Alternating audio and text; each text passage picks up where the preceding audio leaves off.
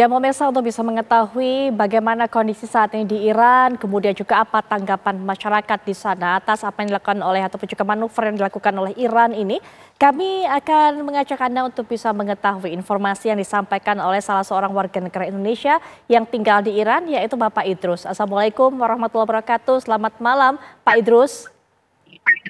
Waalaikumsalam warahmatullahi wabarakatuh. Selamat malam, Bu. Baik, Pak Idrus bisa diceritakan kepada kami bagaimana kondisi saat ini di sana, di baik di kota tempat Pak Idrus ini berada ataupun juga di daerah-daerah lainnya menyikapi serangan yang dilakukan oleh Iran ini. Oke, uh, saat ini kita berada saat ini kita berada dalam uh, di hari kedua pasca serangan Iran ke uh, Israel.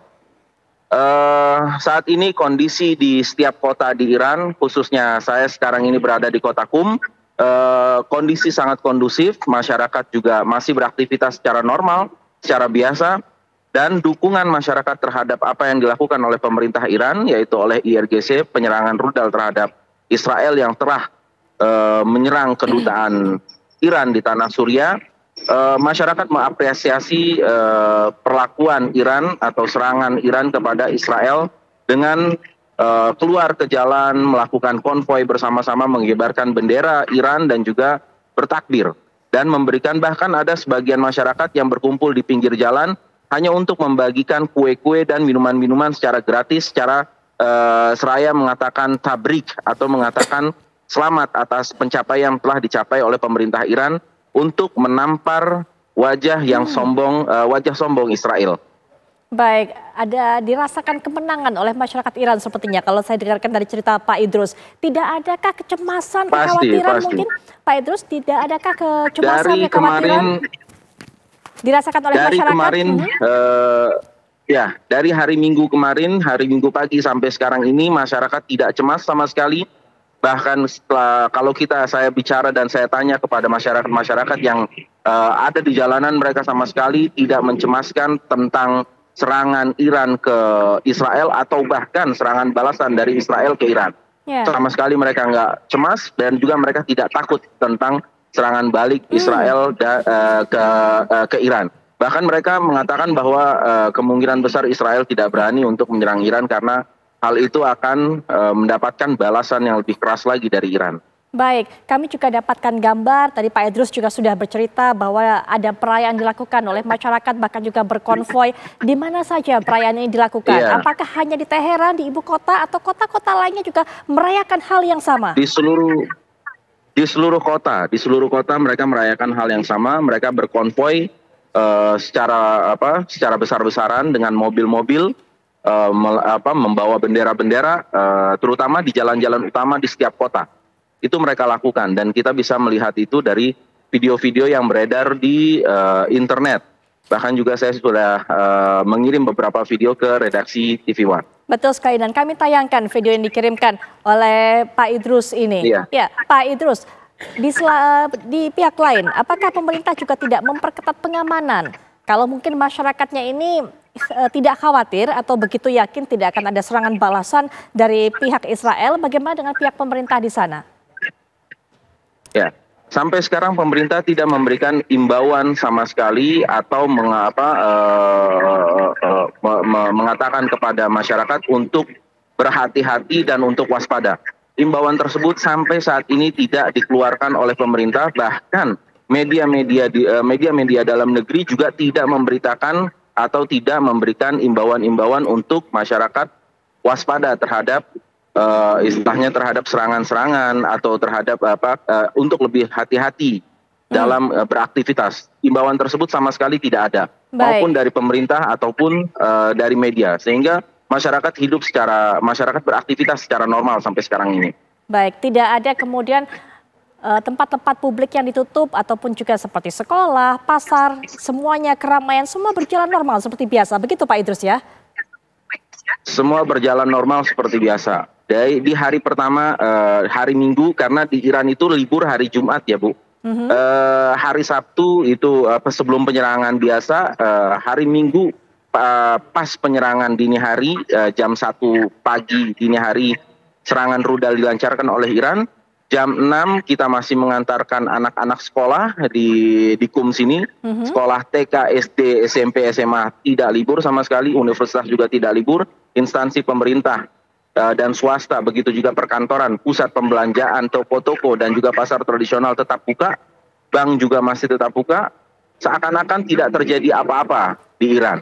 Masyarakat juga seakan-akan tidak apa tidak menggubris tentang uh, apa uh, ketegangan yang ada antara Iran dan uh, apa Iran dan Israel seakan-akan masyarakat percaya full terhadap pemerintahan dan juga terhadap IRGC. Baik Pak Idrus, kita tahan dulu Pak Idrus nanti berbagi cerita dengan kami karena saya juga akan berbincang-bincang dengan para narasumber yang ada di studio terlebih, terlebih dahulu. Bang Faisal, kalau tadi dikatakan juga oleh Pak Nasir bahwa hmm. seruan saja tidak cukup untuk bisa baik itu Israel ataupun juga Iran hmm. sama-sama adem agar eskalasi tidak hmm. meningkat dalam hubungannya kali ini dibutuhkan sebuah konsensus. Tapi kemudian ke mana Dewan Keamanan PBB selama ini? Apalagi ketika kemarin kantor konsulat dari Iran diserang di Damaskus, Dewan Keamanan PBB tidak bereaksi apa pun, tidak memberikan hmm. respon apa pun. Ya memang benar artinya ini apa yang dilakukan Iran. Iran itu sudah sekali lagi dunia membuktikan bahwa Dewan Keamanan PBB, organi, lembaga yang berada di bawah PBB itu yang bisa memberikan sanksi kepada sebuah negara anggotanya itu sama sekali mandul ya. Ini karena ada hak veto yang Amerika yang memiliki hak veto yang selama ini setia mendukung Israel. Yang ingin saya sampaikan adalah apakah uh, Israel akan menyerang balik? Nah ini kalau kita berkaca kalkulasi itu sendiri, Israel ini sebenarnya sudah kerepotan dalam perang di Gaza. Mm. Dia tidak berperang di Gaza uh, melawan Hamas dan Jihad Islam saja. Dia melawan Hizbullah dari Libanon, dia melawan Al-Huthiyun dari Yaman, terus dia melawan koalisi uh, milisi Syiah Irak namanya Popular uh, Popular Mobilization Front, Barisan Mobilisasi Rakyat. Itu saja udah lebih enam bulan. Uh, tidak ada uh, satu pun dari tiga tujuan yang ditetapkan Netanyahu untuk uh, melakukan agresi militer ke Gaza yang tercapai. Itu baru lawan milisi, bukan negara ya. Yeah. Hamas dan Jihad Islam itu milisi dari segi personil, dari segi persenjataan, organisasi maupun tingkat keterampilan pasti di bawah dengan negara. Yeah. Nah, sedangkan Iran ini merupakan uh, negara patronnya daripada milisi-milisi anti Israel itu sendiri. Tentu saja secara kalkulasi uh, Netanyahu tidak akan ses, tidak akan apa sih istilahnya tidak akan melakukan blunder lagi, dia akan melakukan serangan balasan membabi buta seperti yang dilakukan uh, yang saat ini sedang dilakukan di Gaza. Artinya kalaupun mereka Netanyahu mau melakukan serangan balik ke, terhadap Iran itu pasti serangan terbatas dan terukur ini untuk membayar apa menghapus aib karena ini hmm. tamparan buat Israel. Hmm, baik. Dari tahun 79, dari tahun 73 selesai perang Yom Kippur, sejak Iran uh, revol apa uh, rezim mullah berdiri tahun 79, belum pernah ada negara yang berani nyerang. Artinya ini yang pertama kali Iran berani hmm. nyerang langsung ke wilayah Israel. Itu kan hmm uh, sebuah tamparan keras buat Netanyahu. Iya. Lalu Dan seperti ini, apa serangan yang terukur yang mungkin akan membalas tamparan keras ini? Iran uh, Israel sudah berkali-kali melakukan serangan terhadap Iran. Kita tahu mereka mensabotase reaktor nuklir di Isfahan, di Natanz, terus mereka membunuh uh, pakar nuklir Iran Muhsin Farizadeh tahun 2000, 2019 kalau tidak salah saya lupa. Terus juga ada pembunuhan Qasim Sulaimani dan dan serangan kemarin ke apa ke kedutaan gedung konsulat di Damaskus, gedung konsulat Iran itu ya itu adalah blunder paling fatal karena itu kan uh, wilayah kedaulatan sebuah negara, wilayah kedaulatan Iran. Nah, kalau kita lihat kondisi masyarakat Israel sendiri, mereka tidak akan setuju uh, Israel membuka front baru Netanyahu. Hmm. Karena masyarakat Israel sudah trauma dan secara militer Israel sudah kalah itu Badan Asuransi Nasionalnya Israel, uh, National Insurance, itu terakhir kali saya lupa, bulan Desember apa Januari sudah 52 ribu tentara Israel yang luka. Dan kemudian sudah 12 ribu yang cacat tetap. Belum lagi ribuan yang mengalami kondisi jiwa, gangguan jiwa. Nah jadi uh, bagaimana mungkin pasukan yang sudah spiritnya jatuh melawan Hamas tidak bisa menang, ya. menaklukkan Gaza lebih dari enam bulan tidak bisa menang. Sekarang harus melawan sebuah negara Iran yang merupakan uh, Iran dan Israel ini kan secara militer terkuat di, di Timur Tengah. Hmm. Jadi hmm.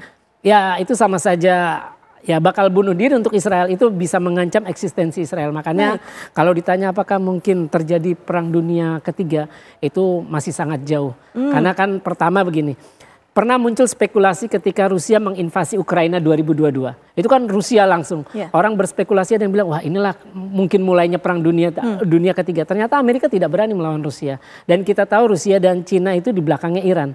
Dan uh, selain itu juga uh, masyarakat global sudah sudah pernah punya pengalaman buruk dua perang dunia. Apalagi bom atom waktu dijatuhkan dua kali oleh Amerika dan Amerika tidak pernah mendapatkan sanksi karena sudah pernah menjatuhkan bom atom 8 dan 19 Agustus Hiroshima dan Nagasaki.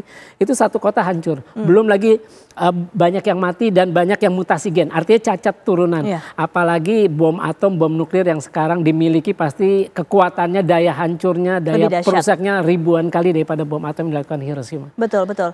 Baik, perpecahan ini juga terjadi di Israel begitu, Bang yeah. Faisal. Pada saat Israel ini menyerang Palestina, apakah kemudian ini juga semakin tajam perpecahan internal yang ada di Israel akibat serangan yang dilakukan oleh Israel ke uh, tentunya kantor konsulat dari Iran yang ada di Damaskus, Suriah. Nanti kita akan uh, bahas lebih lanjut, tapi setelah jeda berikut ini kami sudah kembali.